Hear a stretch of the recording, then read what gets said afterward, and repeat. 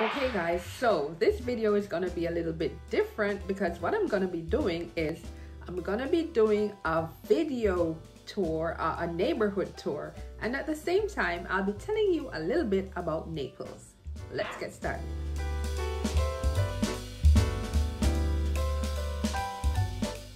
Naples is located in Collier County in southwest Florida. To the very south, it is right next to the Gulf of Mexico so you know what that means. Now let's get into a little bit about what Naples has to offer. Now when it comes on to housing, Naples houses have a median estimated home value of $474,000. Now how does that compare to Florida and United States? Well, Florida's median estimated home value is only 338,000 so we see already that Naples' estimated home value is a little bit higher than for the entire state of Florida. Similarly, the USA median estimated home value for the entire USA is 303,000. So again, we see that Naples, the home values are way above the national average. Now, let's look at how many people own their homes in Naples versus renting. 78% of the persons who reside in Naples actually own their own home, while 22% rent. Okay, let's tell you a little bit more about Naples. Now, let's talk about the price range of homes that have sold in the last uh, 12 months. Now, most of the homes that I've sold in Naples have sold above $400,000. And uh, the price per square foot typically ranges between $200 and $300 per square foot. The homes in Naples are pretty large. They range in size between 2,200 and 2,400 square feet. When it comes down to the age of homes in Naples, Again, they are relatively young. Most of the homes are between 20 and 30 years old, and some are between 10 and 20 years old. So we see lots of new construction in the Naples market. And typically, the houses that sell are three bedroom homes. Now, the population in Naples is just over 21,000 people and that gives a population density of about 1.7 thousand people per square mile.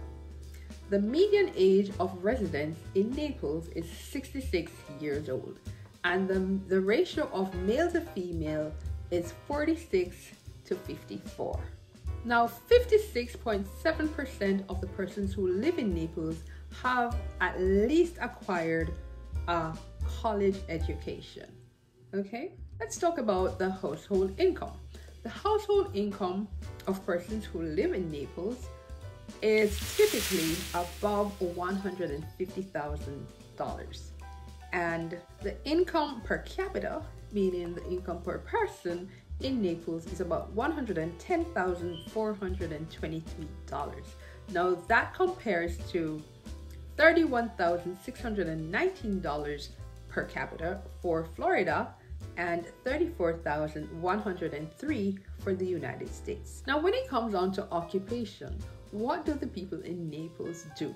Well, the top three occupations in Naples are retail trade, that's number one, two, healthcare and social assistance, and the third one is real estate, rental, and leasing. Let's talk about the quality of life in Naples. Naples has an elevation of 1,605 feet above sea level. The annual rainfall is just about 60 inches, and we have Naples has 98 days of full sun. There's no snow in Naples. And when it comes on to traveling to work, the average time is about 20 minutes. So the average commute is a commute time is about 20 minutes. And there are no brownfield sites in Naples. So how do people get to work? How do people get around in Naples? Well, typically, most persons drive or they carpool or they use a motorcycle. And you have you have a, a sizable amount of persons in Naples who actually work from home. Right, so just over a thousand three hundred persons actually work from home in Naples. When it comes down to the temperatures, the temperatures, like all of Florida, the temperatures in Naples are very nice. Temperatures range from 56 degrees in, in winter all the way up to 85 degrees, sometimes 90 degrees. So you're not gonna find any snow in Florida. It's gonna be nice and warm. Alright guys, uh, that's some information about Naples, Florida. Now if this sounds like somewhere that you'd love to live, somewhere that you'd like to know more about, please go ahead, leave me a comment in the comment section or reach out to me directly. I'll leave my contact details in the description box below. Okay, guys, so that's it for this week. Thank you again for joining me once again. And any questions you have, any comments, feel free to contact me. Okay, once again, my name is Keesha Metcalfe with MVP Realty, signing out for this week. See you again next week. Bye bye.